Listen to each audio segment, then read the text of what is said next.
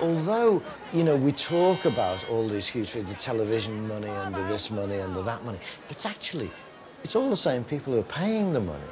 It's football fans. So the money comes from people who love the game. And that is a relationship. In fact, it's like a family relationship. Now, in China, it isn't really family, except perhaps for a very small but growing group of people where it's becoming that kind of relationship. Like football clubs all over the world, the Chinese C-League teams depend on their fans to remain viable. A large fan base means greater ticket sales, more sponsors and lucrative television broadcast revenues. However, the Chinese clubs have not been able to attract this sort of following yet, and it's not unusual to find most stadium seats unoccupied on game days. At this particular match, for instance, the crowd control personnel were in serious danger of outnumbering the crowd. For the Chinese, growing the business is about growing the fan base. But sometimes you get the impression that they think they can miss that bit out. You know, that we can just get on with flogging, you know, I don't know, whatever it is, the shirts and everything else. And it's not the case. Attracting a large fan base is not a problem, however, when the Chinese national team is playing. And when China took the field against Qatar in the third of its qualifiers, half a billion Chinese watched the game live on television. There was a lot to play for. It was tiny Qatar who had humiliated China in the previous World Cup campaign. But the Chinese team was different this time. They had a Serbian coach, Bora Milutinovic, and he had taken four other nations to the World Cup finals. And there were five members of the squad who had had international experience playing with clubs overseas. This time, China expected to win, and so were totally unprepared for what happened next. For most of the match, it seemed that once again they would be humbled by a nation whose entire population was only 800,000. Minute before full time, Li Weifeng came to the rescue.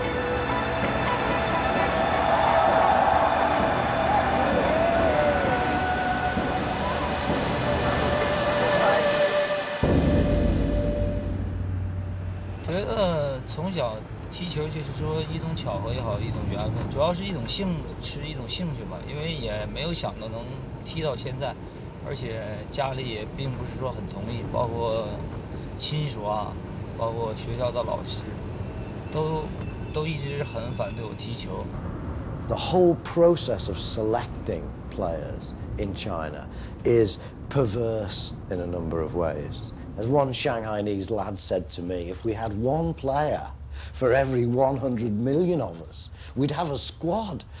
I said, it's not a numbers game, unfortunately. Holland, 9 million people, five class acts every generation. So you see, it's not about numbers. It's about culture and it's about coaching. 近十年的呃总结，我们认为呢，青少年是中国足球发展的希望。只有打好这个基础，那么我们中国足球 才有更好的前途。呃，中国足协呢，已经制定出了中国足球青少年发展运动十年规划。这个呢，就是在全国范围内普及青少年足球运动，再渗透到我们各个学校，有小学、中学里面去，而且呢，我们要将来要渗透到家庭里面去。那么使人们呢，能够从青少年开始培养足球意识，增强的足球理论和观点。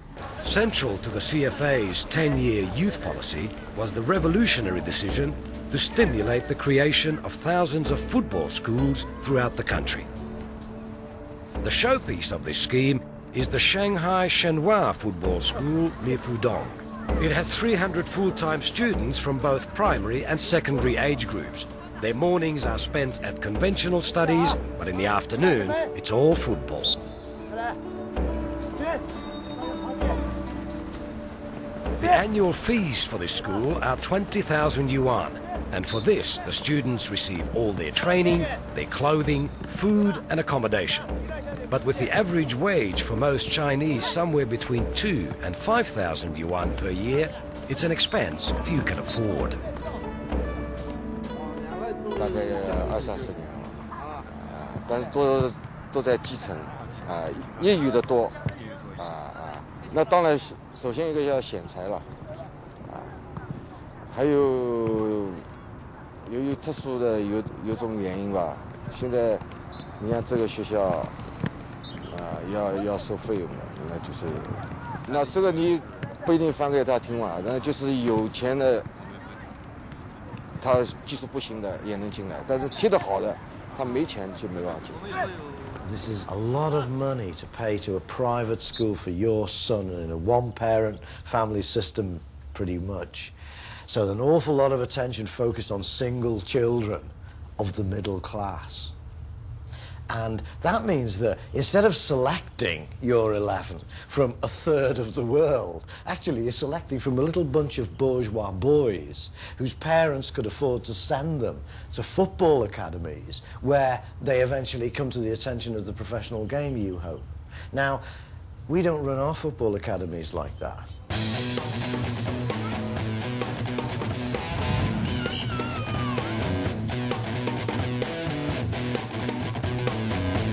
Joe's got to push across, Morgan comes central, Jack makes the dog leg. And the same on the other side.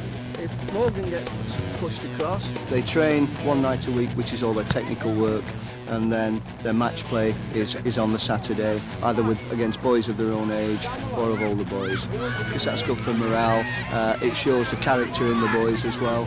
Now can we play quickly again, boys? Adam, James, James, James, movement the football is in everybody's blood and the, the, the, parents promoting the children as an interest, not realizing that they're going to make a lot of money. Go Same, Adam's nice and strong, did ever so well. Seven years old. He's been playing since he was about, he's been kicking the ball since he was about three. So he just lives for football, basically. He's been with about another three or four other clubs and now he's just decided to come to Sheffield United. Jaws, Jaws. Check him out. Out. Good lad. You know, in China, the population, how much? 1.3 billion? I'm sure that if everybody trained like this here, we got we have been in the World Cup probably five years ago.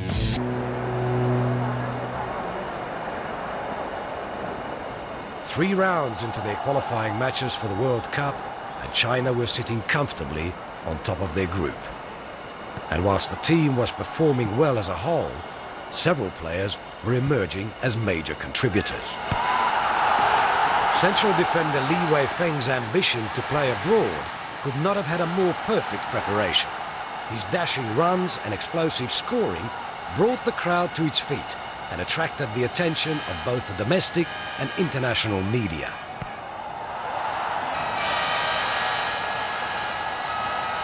And even though Fan Zhiyi had signed with Dundee and was travelling back and forth to the UK, his commitment to the young team was just as strong and paying real dividends.